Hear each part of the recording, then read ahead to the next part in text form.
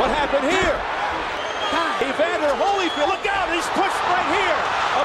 时间是一九九七年，泰森与霍里菲尔德争夺 WBA 世界拳王金腰带的比赛。相信这一幕，很多喜欢泰森的拳迷都会历历在目。这位拳坛历史上最年轻的重量级拳王，以毁灭性的重拳和接近百分之九十的 KO 率闻名世界，在擂台上勇猛无比，擂台下却把生活过得混乱不堪。直到现在，泰森仍然被认为是世界上最好的重量级拳击手。但从这场被吊销执照的比赛开始，泰森进入职业生涯低谷。这也是巨鹿格斗今天要讲的就是这场咬耳朵事件以及泰森的悲情人生。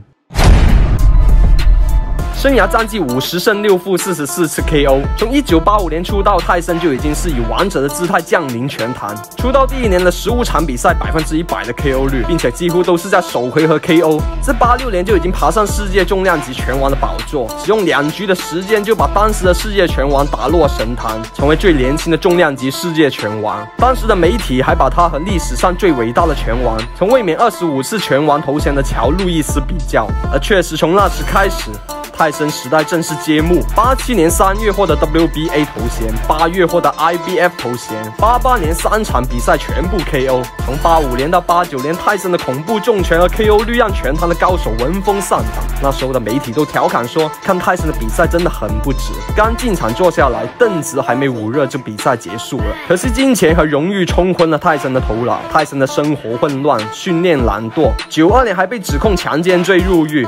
虽然直到现在泰森依然声称自己是无辜的，但还是被判了三年入狱。而泰森咬耳朵这场比赛的故事就从这里开始了。出狱后的泰森在一九九六年十一月面对着拳坛真正的强者霍里菲尔德，曾五次获得世界拳王金腰带的人。显然当时泰森水平已经极大退步，第二回合就被霍利逼到角落，连续几个组合拳击中。即使中间泰森对霍利打出几个重拳，但也没太大伤害。到了第六回合，全场观众喊起了霍利菲尔德的名字。The chance of Holyfield.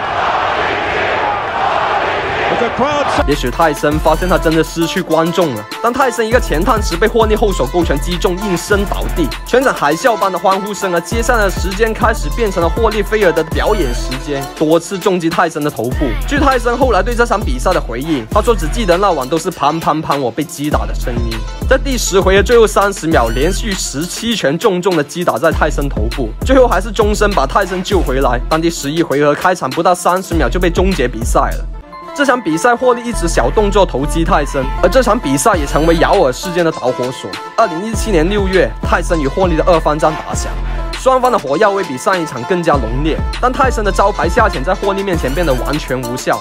双方缠抱时，霍利的铁头功似乎用上瘾了。此时的泰森表情看起来还是比较淡定的。然而到了第三回合最后一分钟的时候，双方缠抱起来，泰森张开嘴，霍利大喊一声，突然跳起来骂了句脏话，而泰森又上前走过去推了一把。此时解说才发现霍利耳朵的血一直往下流。当裁判示意要扣掉泰森两分后重新开始，此时泰森又再一次朝着霍利的另一只耳朵咬上去。第三回合。结束后，双方团队直接在擂台推散起来。泰森多次想冲去霍利面前，但已经被现场安排保团团围住了。霍利也因为害怕再次被咬耳朵，退出比赛。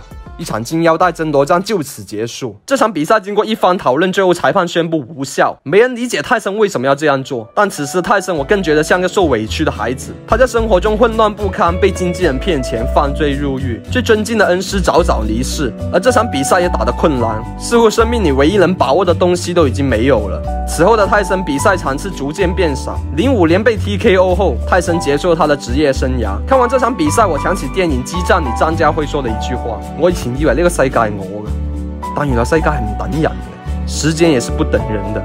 不过有趣的是，泰森和霍利菲尔德并没有因为这场比赛变仇人，反而变成一对老冤家。二零一四年，霍利菲尔德入选拳击名人堂，还是泰森为他颁的奖。这里是巨鹿格斗，格斗可以像电影一样优雅。我们下次见。